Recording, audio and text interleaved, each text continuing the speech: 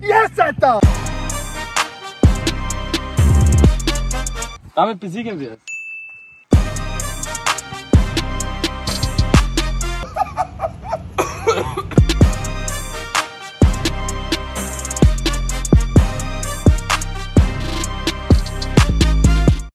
So Leute, ja, jetzt mal ganz kurz erstmal herzlich willkommen zum Stream. Wir sind hier mit Genie. Genie. Marlon, Merte, Fritte und meine Wenigkeit. Immer an, wer da sitzt und hat da Tomaten vergessen. Oh mein Gott, ja, ey. Wusstest du, dass du brauchst, wenn du Äh, habt ihr für Bruschetta Tomaten? vergessen, was das ist? Ich dachte, der Avocado. Einer muss, einer muss los jetzt. Ich denke mal, Sidney und ich werden uns so ein bisschen aufteilen, was wir machen.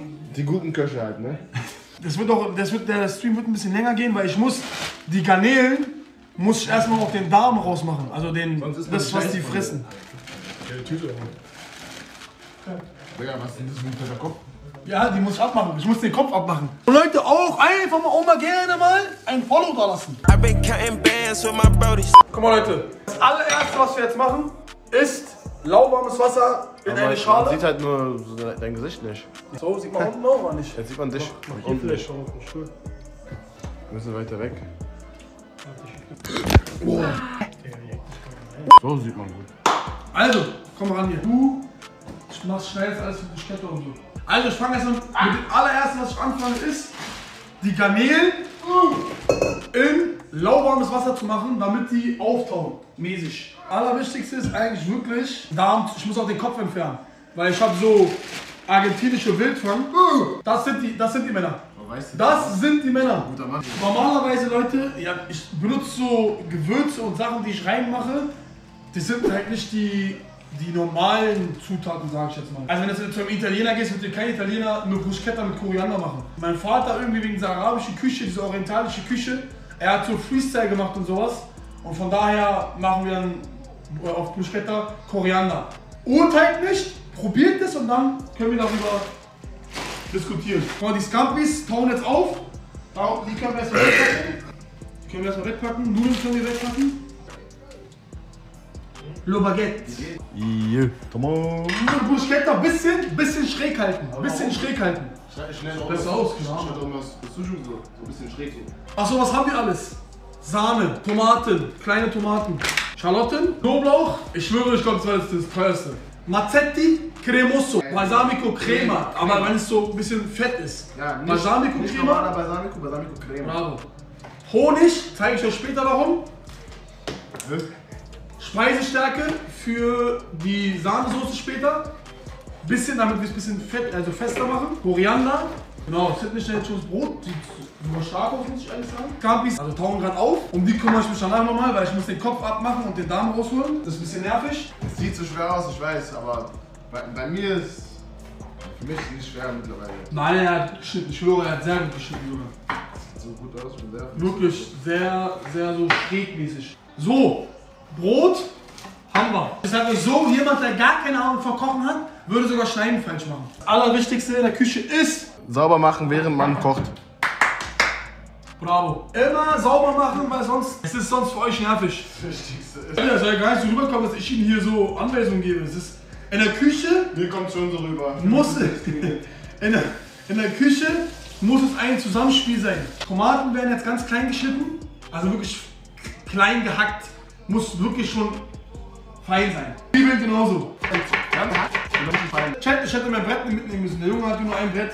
Ja, ich koche halt, ich koche halt nur für mich, da brauche ich nicht so viele Sachen, dass ich mehrere Wörter Er hat brauche. aber auch immer eine Antwort parat.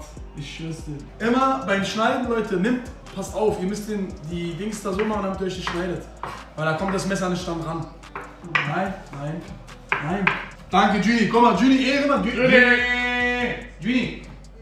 Oma, was sagen? Für den Seel- Seeleuten. Was soll ich sagen? Da habe ich einfach mal die Champignons gekauft. bin, nicht, bin nicht da raus in die Kälte und hab sie geholt. Stark. Für meine Brust. Juni stark. Wie gesagt, schön klein schneiden die äh, Schrotten. Hast du einen Stampfer hier? Nee, wa? Für Knoblauch? Nee, ne? Hast du eine Presse? Mach mal, mach mal vier oder drei, drei Knoblauchzehen. Zwiebeln sind fertig für Bruschetta. Wie gesagt, die Schalotten, sehr klein geschnitten, in würfelmäßig. Oh, meine Augen. Ich kümmere mich jetzt um die Tomaten. Der macht gerade den Knoblauch. Wir müssen auch gleich die Garnelen machen, ja. Ist kein Problem, wenn ihr mit den Händen arbeitet, ne? In, in äh, arabischen Ländern und in Afrika isst man sogar mit, den, mit äh, Händen Essen. Natürlich wieder Afrika. Nee, Aber ist, aber ist Big, Big Fact. Haben Sie schon auch arabische Länder gesagt? Wenn der so wieder stichelt von hinten. Ich war ja immer Stichel. Ihr denkt immer, ich war was gegen Afrikaner oder so.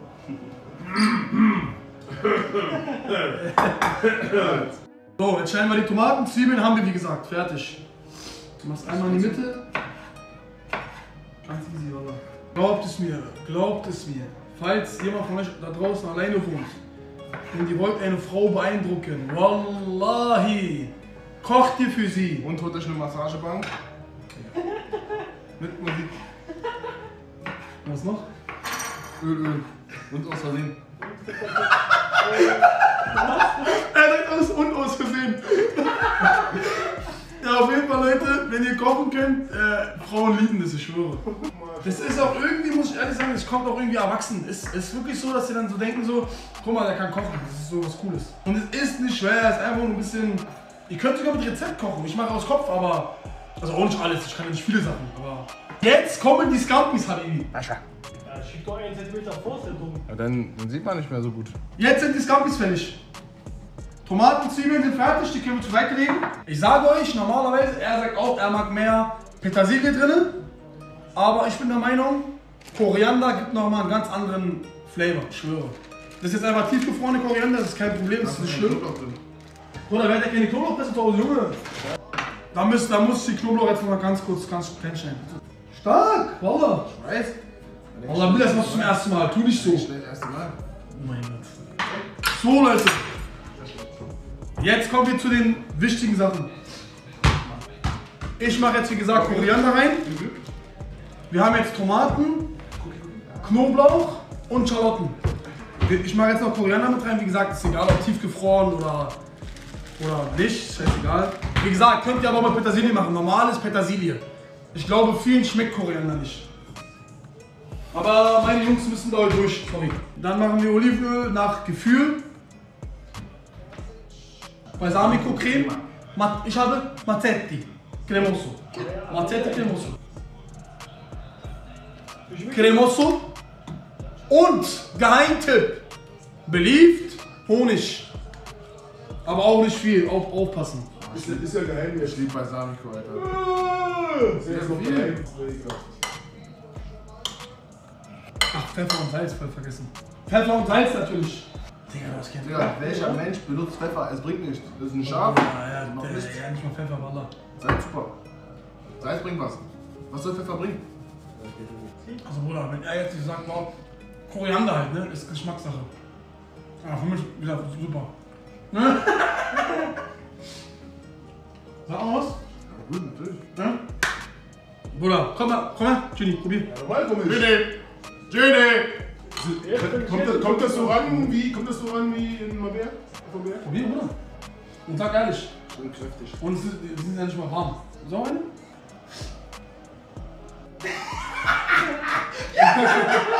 Jetzt, Alter! Oh, das ist stark.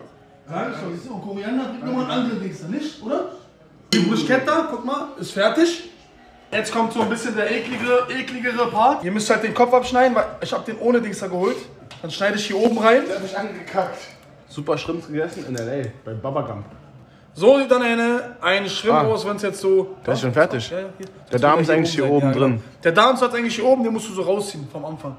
Das ist der Darm, das schwarze da. So, sauber, schön fertig gepult. Das ist eine schöne Garnele. Ein nackiger Shrimp. Das ist eine schöne Garnele.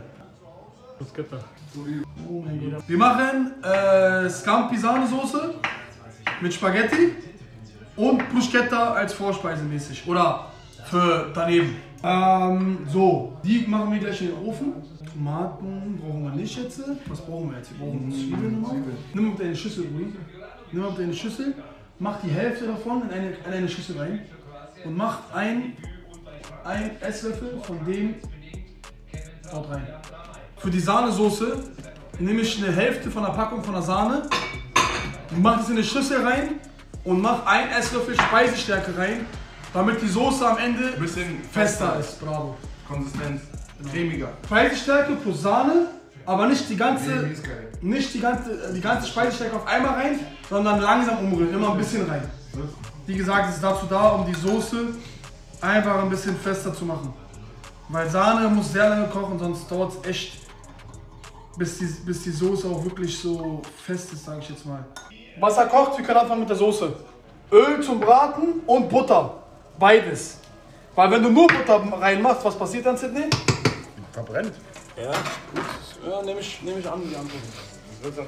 Nehme ich an die Antwort. Ganz kurz Zwiebeln anbraten. Nee, Nur Zwiebeln erstmal.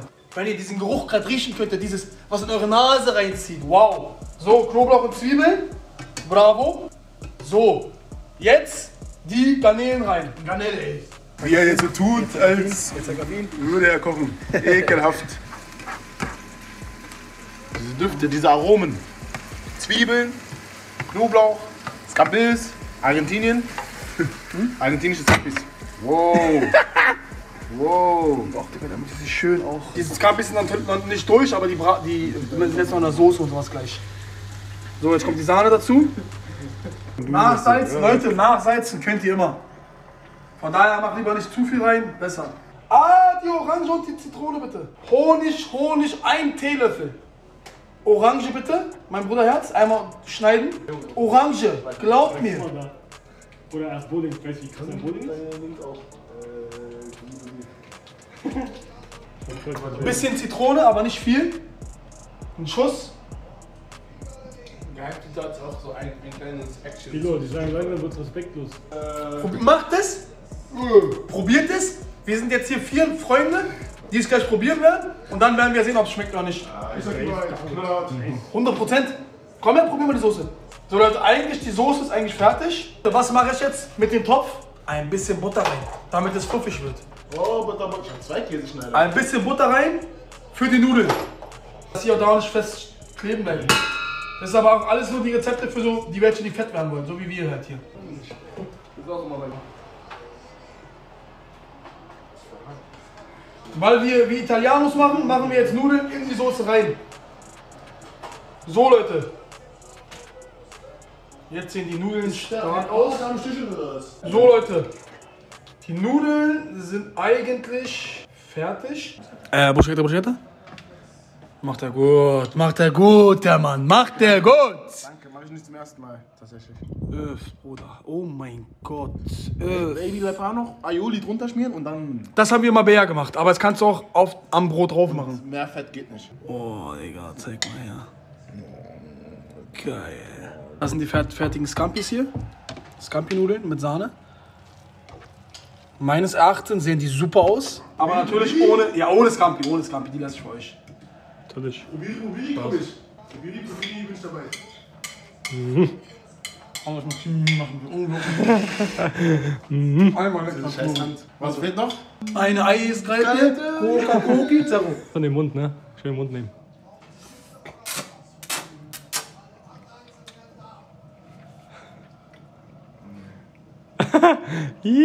Ehrlich. Nein, Bruder. Stark. Ekelhaft. Lecker, oder? Echt lecker. Jalla. Essen, wir können essen, Männer.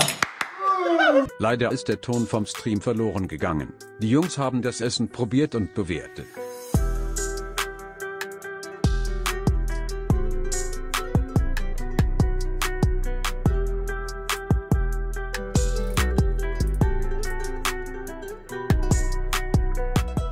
Lasst ein Like und ein Abo da. Danke fürs Einschalten.